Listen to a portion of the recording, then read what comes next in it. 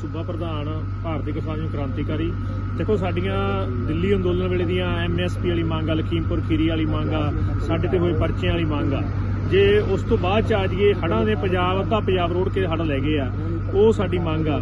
ਸੋ ਉਹਨਾਂ ਮੰਗਾਂ ਤੇ ਅਸੀਂ ਲਗਾਤਾਰ 18 ਜਥੇਬੰਦੀਆਂ ਦੇ ਪਲੇਟਫਾਰਮ ਤੋਂ ਲੜ ਰਹੇ ਆ।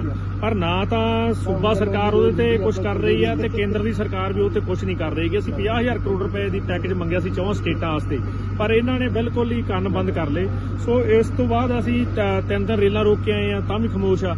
ਸੋ ਅੱਜ ਅਸੀਂ ਵੀ ਪੰਜਾਬ, ਹਰਿਆਣਾ ਯੂਪੀ ਚ ਫੈਸਲਾ ਕੀਤਾ ਕਿ ਇਹਨਾਂ ਦੇ ਵੱਡੇ ਜਿਵੇਂ ਆਪਾਂ ਰਾਵਣ ਫੂਕਦੇ ਆ ਹਰ ਦੁਸਹਿਰੇ ਤੇ ਪਰ ਅੱਜ ਦੇ ਸਮੇਂ ਦੇ ਵਿੱਚ ਅਸਲੀ ਰਾਵਣ ਜਿਹੜੇ ਆ ਲੋਕਾਂ ਨੂੰ ਦੁਖੀ ਕਰਨ ਵਾਲੇ ਲੋਕ ਜਿਹੜੇ ਆ ਇਹ ਆ ਅੱਜ ਅਸੀਂ ਅੰਬਾਨੀ ਅਡਾਨੀ ਕਾਰਪੋਰੇਟ ਘਰਾਣੇ ਤੇ ਮੋਦੀ ਸਰਕਾਰ ਦੇ ਜਿਹੜੇ ਆ ਪੁਤਲੇ ਫੂਕ ਰਹੇ ਜੇਕਰ ਫਿਰ ਵੀ ਹੱਲ ਨਹੀਂ ਹੋਇਆ ਤਾਂ ਫਿਰ ਸਰ ਫਿਰ ਕੋਈ ਗੱਲ ਨਹੀਂ ਜੀ ਸਾਡੇ ਕਿਸਾਨਾਂ ਨੇ ਆਹ ਝੋਨਾ ਸਾਂਭ ਰਹੇ ਆ ਕਣਕ ਬੀਜੀ ਜਾਣੀ ਨਵੰਬਰ ਦੇ ਮਹੀਨੇ 'ਚ।